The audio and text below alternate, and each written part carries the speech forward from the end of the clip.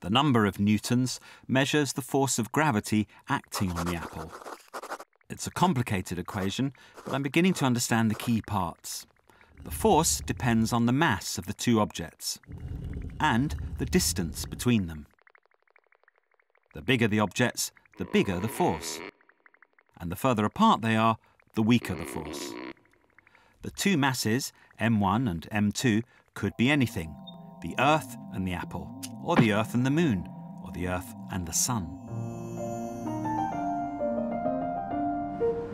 Ruth told me Newton's equation allowed us to understand why the moons and planets move around the solar system. His equation seemed to make sense of, well, the universe.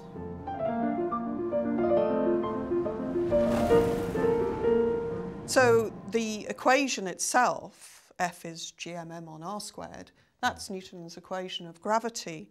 But how we how we use it, this is a sort of process, you know, yes. doing science, yes. of, of calculating things, of making predictions. You've now shown me how we use that equation. How yes. we would use it, yes. Yeah. This is our paint, really, how we paint the world. We paint it in equations.